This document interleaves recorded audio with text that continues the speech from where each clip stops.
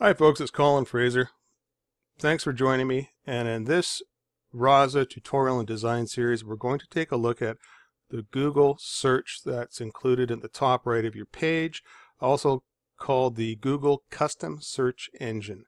And uh, what it is, it's um, in, in most cases it should be showing up on your page. I'm going to put a preemptive because Google likes to change things around on their servers and sometimes we notice that when we we have these in templates and Google makes a slight change unless you you've updated the code um, they disappear. So the default one may or may not be showing but in this case it is so that's a good sign. Now how to update this. What we need to do is fire up a web browser and do a Google search on or search for Google CSE for custom search engine okay pull it up and it's going to pull up the custom search engine page as the top or the google.com slash CSE. Okay, and I, I mentioned do a Google search on it because if they ever change the link to that page, then my video information is going to be outdated. Okay, next thing we need to do is, is if you haven't signed up for a Google account, it's free. Sign up. If you have Gmail or anything like that, then you've already got a Google account.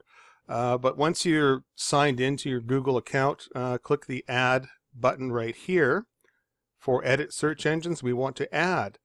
Um, so the name of the site, just type in the www, then the name of your site or the domain of your site, like so. Um, and basically, name of the search engine is going to pop up down here. It's going to be the same as the domain of your site. And that's it. Hit create. Takes a second. Get code. Now put your cursor in here. Just click and it's going to select everything in there and copy. Next step, go to Dreamweaver. Okay, and open up your library, your shared, and your Google search library page. Open that up. Flip it over to code view.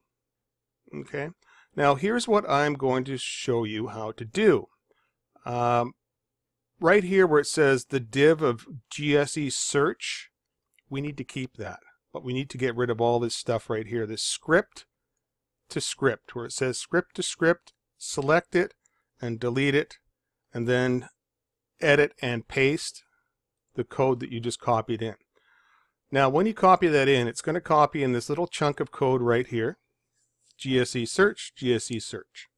Now this is a special Google tag and it does not validate with w3.org. So we have created our own div class that does validate.